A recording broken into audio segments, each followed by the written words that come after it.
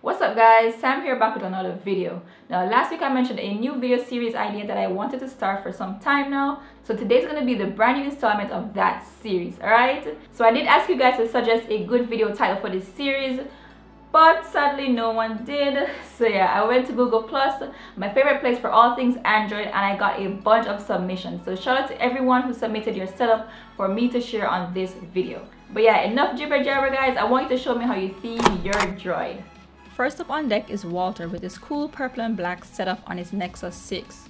The wallpaper features a rather ghoulish photo of Jason Voorhees. Now the wallpaper is from AMOLED Pro and I really like this setup from the custom Google search bar, the custom clock widget that he modified at the bottom, to all the quick toggles on that custom nav bar. Walter has a torch, Wi-Fi toggle and screen record or video record toggle all on his navigation bar with the other buttons of course. He's on a custom ROM which is a Dirty Unicorns ROM, rocking Nova Launcher with a nano icon pack. Walter uses two themes to achieve this look. He has a pitch black theme, which is the one that I'm currently using, and he also has a focus theme to theme his quick settings panel. At the top of his screen, you can see the custom header that he has, and this is from Dirtyville Header Pack. Great submission, Walter. I really like how your setup stays consistent all the way through your UI. Thanks for submitting. Next up is Hamad. Now this one is a single home screen setup on its LG V10. It's a stark difference from the one that we just saw. It's really colorful and bright and I like it. The custom widget used here is Organic by Will K. The icon pack used is the MOWMO and it's called Dark Matter. And the wallpaper he says is from iOS. Now the overall theme looks pretty nice and there's a cohesiveness among all the elements here. The navbar icons, the wallpaper all go together as if it was from the same theme. I especially like notification counter on the app icons as well as the navbar which he got from the Play Store and it's called Pixbar. Good job Hamad and thanks for entering. Next up is from my good friend Billy and this is another single screen setup on his OnePlus 5.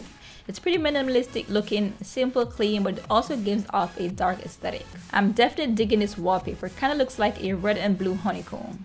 I'll put links for this and everything else I mentioned in the description down below. Now the wallpaper goes really well with the widgets that he has here, especially this clock widget here that's called Red Abyss. Alright, it's pretty futuristic and looks very badass. Now because this device is so new, there is no root available as yet. So everything here is pretty much stock. So that battery indicator at the top doesn't need root and it's from an app called Powerline. Awesome setup, Billy. Thanks for entering. Next setup is themed by David, and it's very unique. It's been themed all the way through, and I love that. He's rocking the Pure Nexus ROM with custom nav bars, widgets, and icon packs, all customized by him.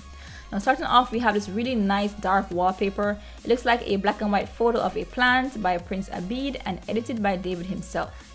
I do like the custom black and white Google search bar widget, and the theme he used is a pink and blue substratum theme by, I'm not even going to try to pronounce that.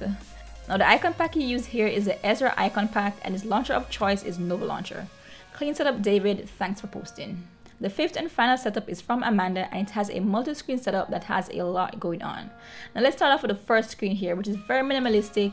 In fact, it's actually just the time and day and what I think is the app drawer button. It's called Starry Night Sky and the KLWP wallpaper that she chose is called Simply Blur by Utsav Sahu and it's modified by her. Now the next screen up is the music screen and this is pretty much a huge music player widget. It has a cover art, the scrub track, the play, pause and volume buttons. The third page is the events page which consists of a calendar widget to keep track of, you guessed it, your events and it's a component made by Jordan X. The fourth screen is the weather screen which not only has the weather for the current day but for the next 5 days as well. Now this component is called Project X Weather Component. And below that we have a few of our favorite apps. These icons are by Tim Austin. Now the final screen is the RSS news feed page where she follows a few of her favorite websites. Overall this is a pretty clean and modern looking setup that not only looks good but serves some function as well. Great setup Amanda, thanks for entering. So yeah guys, that's pretty much it from me in this video. I do hope you like this new video series. Hopefully it all goes well. And yeah, if you have any feedback, comments, suggestions, if you want to submit your setups, let me know in the comment sections down below. As always, guys, you've been hella awesome. My name is DaKoin, and I'll catch you guys in the next video. Zine.